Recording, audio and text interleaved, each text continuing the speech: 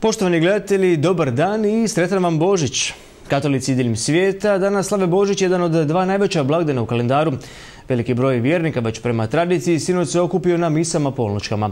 U povodu Božićnih blagdana pastirsku poruku svim vjernicima Đakovačko-Osječke nadbiskupije uputio je i monsignor dr. Đuro Hranić, između ostalog rekavši, dok klećimo pred skromnom betlehemskom štalicom, svi smo pozvani dupreti se napasti da podlegnemo moći novca i korupcije, svugdje potkopava same temelje osobnog i društvenog života, te nas, kako ističe Papa Franjo, sprečava gledati u budućnost s nadom, jer svojom ohološću i poklepom uništava slabe i gazi najsiromašnije. Draga braćo i sestre, potaknuti primjerom betlehemskih pastira, otkrijmo istinsko bogatstvo u vršenju dijela milosrđa.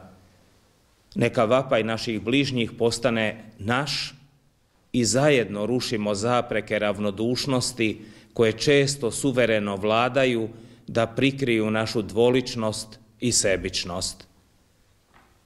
Neka vam je svima, draga braćo i sestre, draga braćo svećenici, dragi redovnici i redovnice i sve, svi ostali članovi ustanova posvećenoga života, blagoslovljen i radostan Božić. A malo koji blagdan u godini obiluje tolikom simbolikom i tradicijom kao Božić u selima Brodskog poselja, unatoč činjenici da se vremena mijenjaju, veliki dio mještana drži se tradicije. Prvenstveno kada se radi o blagdanskom stolu, Tradicionalno se peče pečenka, a i dalje domaćini najradije peku kolače prema receptima svojih majki i baka. Tako i u domu obitelji Pitlović gdje se i uoči Božića peku domaći kolači. To su bilo, ja bih rekao, ovako više sulji kolači.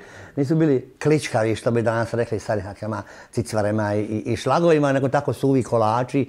Ja bih kako to lipo izgleđe. Ovaj, I mnogi su se zadržali u, u današnje vrijeme koje domaćice e, volje peče, koji naša ružica. Ovaj, i kolači su bili isto ovaj nešto, e, što bi rekao, poznatog, neka krećemo kolača za Božić peć. Jel?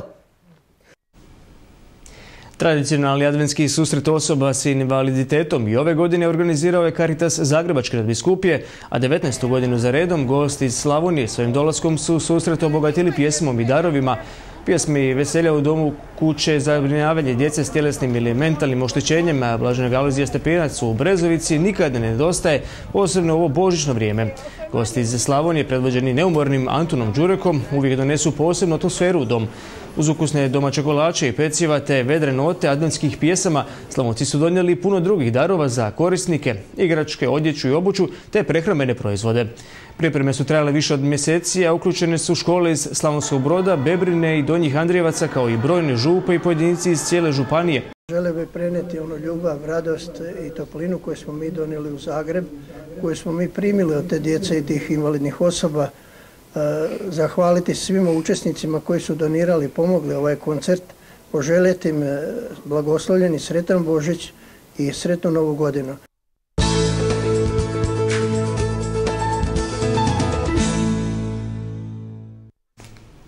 U organizaciji Županijskog šahovskog saveza uz domaćinstvo šahovskih klubova Đuro Đaković i Brod u njihovim prostorijama održano je prvo otvoreno prvenstvo Županije za seniore, juniore, kadete i veterane. Ukupno je nastupilo 20 igrača u sve četiri kategorije, dok su svoj poseban turnir imali i oni najmlađi do 8 godina starosti. Naravno da je najzanimljivije bilo kod seniora kod kojih su se u finalu našla dva najbolje igrača, Lovrić i Matošević. Kod seniora su u finalu igrali Petar Lovrić, koji je ujedno i predsjednik šahovskog kluba Brod i Ivica Matošević, član Strmca iz Nove Gradiške. Bila je to zanimljiva partija u kojoj je Lovrić u otvaranju stekao prednost koju je do kraja pretvorio u pobjedu. On je u sedam partija imao pet pobjeda, jedan remi protiv Marija Rajkovića, dok je izgubio samo od Ante Matanovića. Na kraju se ispostavilo, Moltane prva dva nositelja su odlučivala zadnje kolo i eto, desilo se, ja sam malo imao više sreće, malo iskustva i na kraju sam uspio pobijediti. Ma da, izrazito neugodan igrač, ove godine imao 100% rezultate u ligama, u juniorskoj i seniorskoj, tako da sam ovaj, trebao biti jako oprezan. Na kraju sam malo priredio otvaranje i malo ga iznenadio i eto, uspio pobijediti.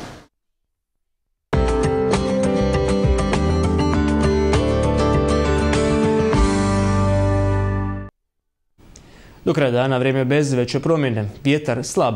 Najviša dnevna temperatura od 6 do 11 stupnjeva. Toliko u ovom izdanju vijesti. Hvala vam na pozornosti i lijep pozdrav.